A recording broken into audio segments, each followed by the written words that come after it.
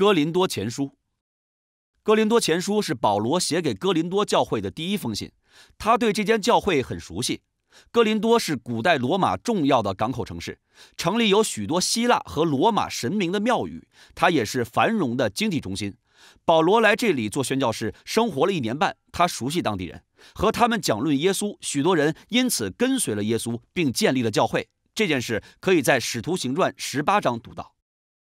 过了一段时间，保罗搬到其他城市，在那里建立教会。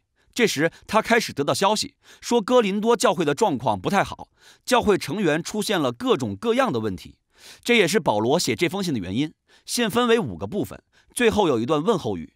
这五个部分就是保罗提出的五个主要问题，所以这封信读起来像是讨论不同主题的短文集。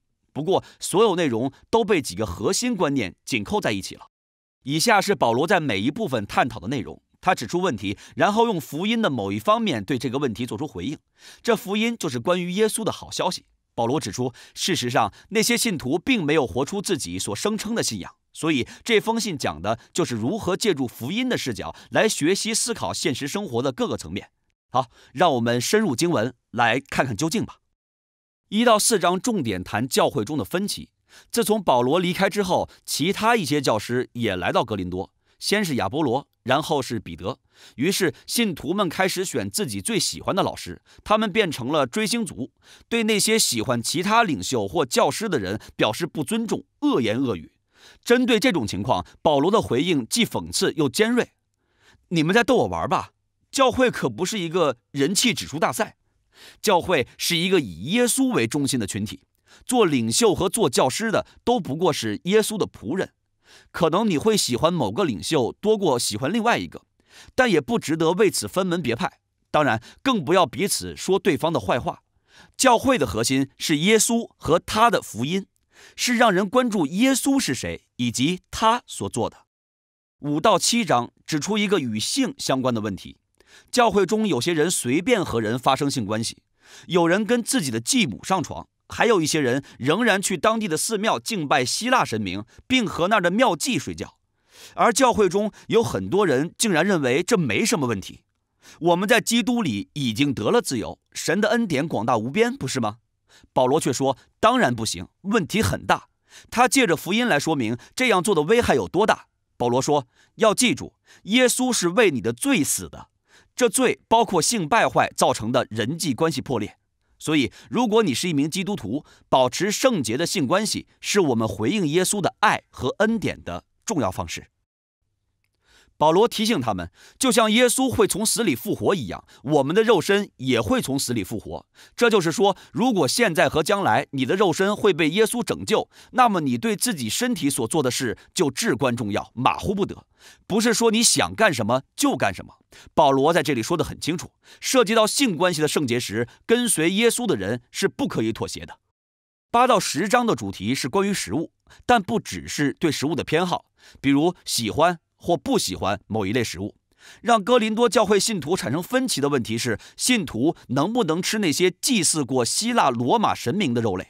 对这个问题，犹太人基督徒和非犹太人基督徒的看法不一样。保罗再次引用福音书中的一些核心观念来做解释。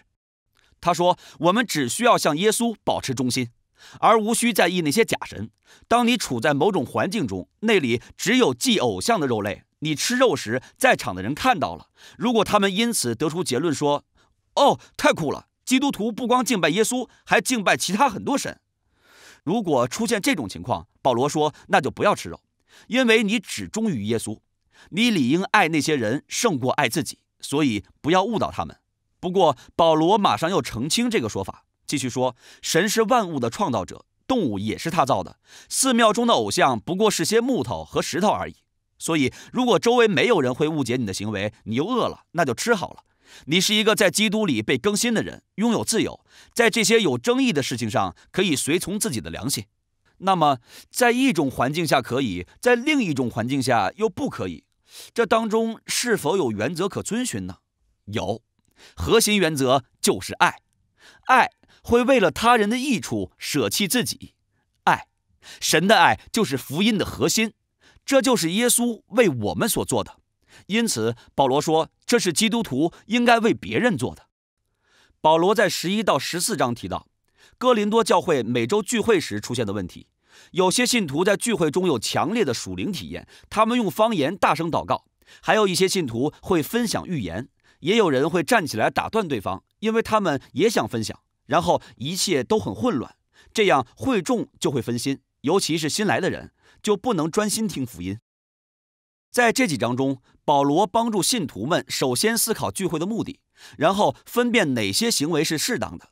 他说，聚会时，神的灵会透过每个人工作，但一定会用合一的方式来使用恩赐。他把教会比作一个身体，身体只有一个，但是身体上有很多不同的肢体，每个肢体都起着一种独特且重要的作用。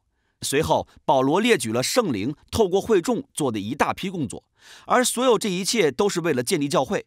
这是这几章的关键短语。他总结说，聚会最重要的价值是以福音为核心的概念。神的爱，爱也是这些章节中的一个关键词。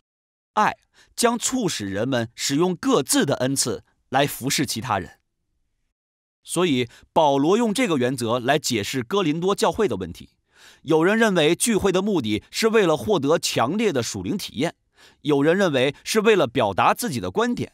保罗说，他本人非常喜欢大有能力的祷告体验，但如果这样的祷告会影响或者吓到其他人，就应该停止，因为那样就相当于我爱自己胜过爱别人。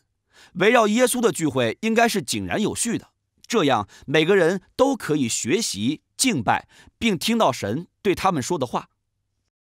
保罗解决的最后一个问题是关于耶稣的复活问题和基督徒的未来盼望。教会里有些人说复活的想法是荒谬的，对基督徒来说并不重要。保罗对此特别强调，复活是福音中必不可少的一部分。他说：“我们相信复活，因为数百人亲眼见证耶稣被罗马人公开处决后仍然活着。如果耶稣没有死里复活，他的死就是没有意义的。那么我们仍会迷失在罪恶和自私当中，我们也没有必要继续做基督徒。”保罗详细的描述了耶稣通过复活战胜了死亡和邪恶，他的复活成为我们生命和能力的来源，也是对未来整个世界的应许。因为耶稣的复活，我们才会在基督里合一，才会促使自己在性关系上持守贞洁，才会有爱人过于爱自己的能力。最终，这也是我们胜过死亡的盼望。保罗最后总结说：“我们确实相信耶稣从死里复活了。”这意味着福音不仅仅是一个道德规范或某种解决个人心灵问题的良方，这是有关耶稣的一个宣告，将开启一个全新的世界。透过福音去细看生活的每一个部分，这就是哥林多前书的精义。